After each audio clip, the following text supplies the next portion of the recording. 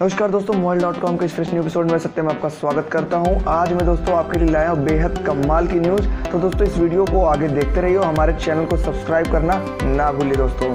तो जैसा कि मैं बता रहा था कि एयरटेल लाया है आज एक ऐसा ऑफ़र इसको जानकर आप हो जाएँगे बिल्कुल हैरान।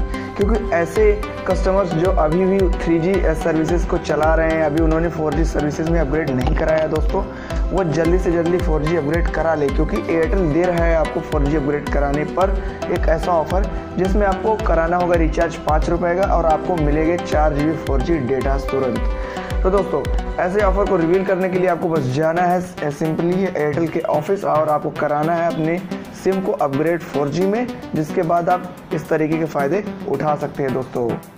तो दोस्तों, दूसरी न्यूज़ आ रही है नोकिया की तरफ़ से। नोकिया ने कल लॉन्च कर दिया है अपना नोकिया टू पता नहीं नोकिया टू ये नोकिया थ्री नोकिया फाइव और नोकिया एट वगैरह के बाद ऐसा क्यों आ रहा है, मुझे नहीं पता। लेकिन दोस्तों नोकिया कह रहा है ये बजट फ़ोन हो सकता है।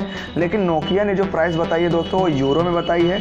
तो दोस्तों, मुझे नहीं समझ में आ रहा है कि नोकिया ने जो लॉन्चिंग की है, वो इंडिया में की है या कहीं यूरोपियन कंट्री में की है। स्पेसिफिकेशंस की बात करते हैं तो नोकिया बस सिर्फ़ ये बता रहा है फ़ोन में एक जी रैम है, चार हज़ार एम की दो दिन चलने वाली बैटरी और पाँच इंच की एचडी स्क्रीन है। और दोस्तों, जो और अदर बात हम करते हैं तो कैमरे के बारे में अगर हम बात करते हैं तो पाँच मेगापिक्सल का रियर कैमरा और दो मेगापिक्सल का फ्रंट फेसिंग कैमरा नोकिया देता है।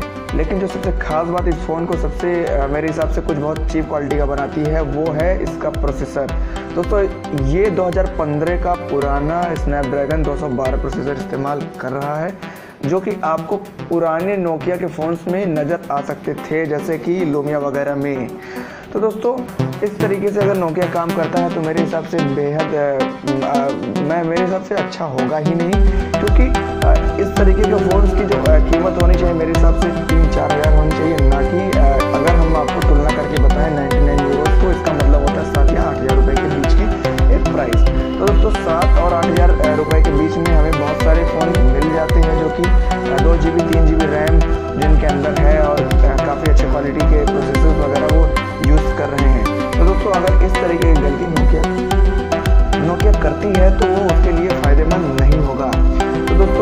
आप हमें ज़रूर बताएँ कमेंट्स के माध्यम से कि आपको आज हमारा एपिसोड कैसा लगा। आप हमें अपने व्यूज़ भी दे सकते हैं दोस्तों। तब तक के लिए जय हिंद।